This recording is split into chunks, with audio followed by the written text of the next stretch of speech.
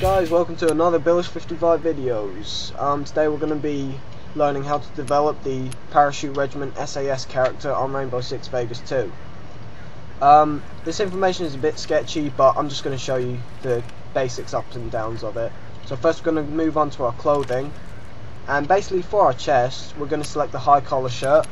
Because um, it can keep you warm, it's integrated, it's got quite a bit of padding in it, and Kevlar for our legs we're going to go to cargo pants because obviously the parachute regiment do abseil quite a bit and raffle stuff like that.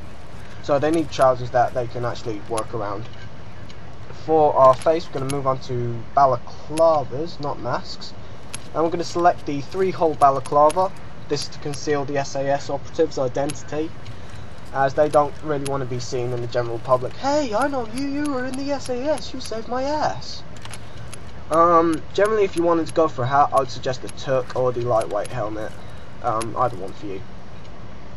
Now, we're going to move on to our armour. The SAS Parachute Regiment generally want to be quite lightweight. So what I'd suggest is the Ballistic Combat Vest or Raven Recon Vest. For your legs, you want Raven Recon legs, complete set. And for your arms, you're going to want Vulture Combat Arms, also a complete set.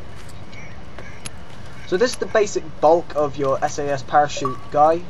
Um, armor, quite lightweight, yet offers some protection. Um, and then we're just going to show you the weapons just to show you a bit about it.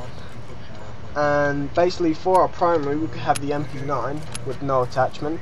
Pistol we have the P99 or USP 40 although I'd go with the P99 because it's one up from the accuracy. Uh, MP5 uh, for our secondary weapon with a reflex scope, that is the silenced version. And for MP9 we can use laser sight but I prefer no attachment because it, it's a lot cooler I find. For our primary gadget we want smoke grenades and for our secondary breaching charges.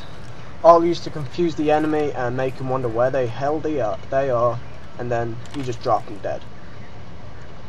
So this is the basic bulk of SAS. Thanks for watching and see you later.